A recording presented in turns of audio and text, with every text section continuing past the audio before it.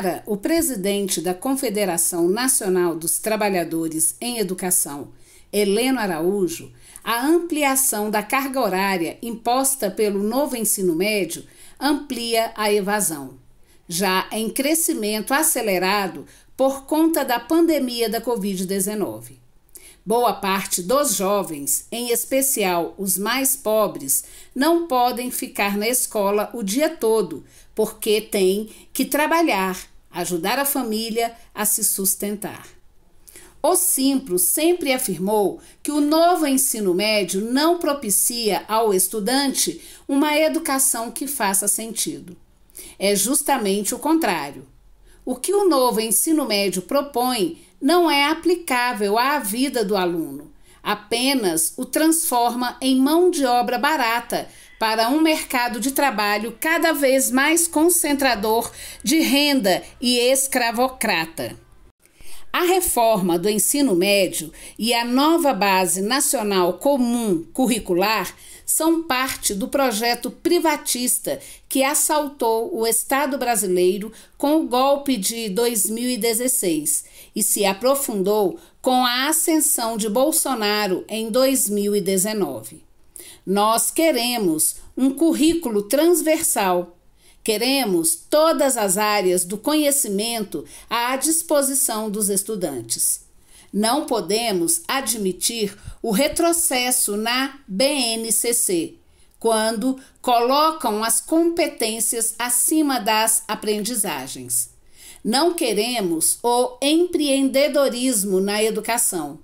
Queremos estudantes na educação pública ocupando as universidades públicas.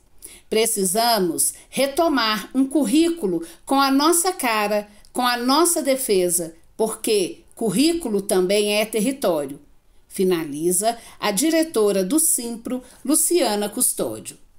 Todos os estados e municípios estão se organizando para ampliar as mobilizações contra o novo ensino médio. E a bandeira é de revogação do novo ensino médio. O que está sendo criado são comitês nas cidades e no Distrito Federal, que será criado um comitê pela revogação. Consulta pública sobre o novo ensino médio. Como resposta às demandas de estudantes, professores, orientadores educacionais e da população pela revogação da reforma do novo ensino médio, aprovada por meio de medida provisória pelo governo Temer, o Ministério da Educação disponibilizou uma consulta pública sobre o NEM por meio da plataforma Participa Mais. A nova organização da última etapa da educação básica vem recebendo críticas por retirar disciplinas básicas do currículo e não garantir a liberdade de escolha para os estudantes. A consulta segue disponível até o dia 5 de julho. Para participar da consulta, veja abaixo o passo a passo e vote não a este retrocesso.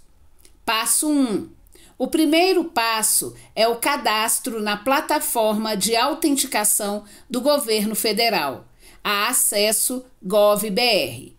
Clique para se cadastrar.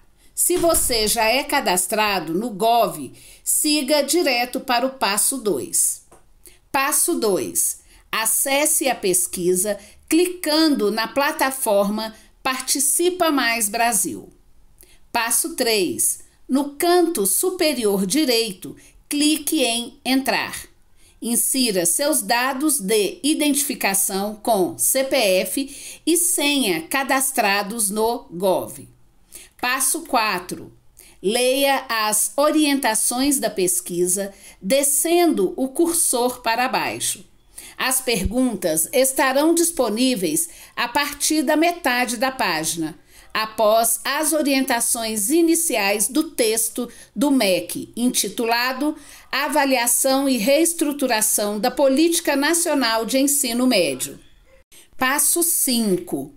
Para cada pergunta, você tem que marcar concordo com a proposição ou discordo da proposição e também inserir um comentário. O Simpro orienta responder discordo da proposição em todas as questões, além de incluir um comentário para cada uma das perguntas.